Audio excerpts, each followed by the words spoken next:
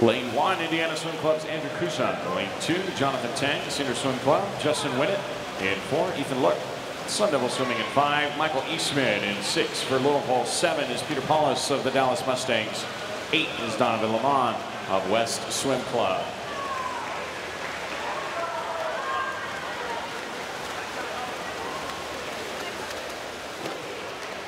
And your heat win 24-10 for Jonathan Tang of Sooner Swim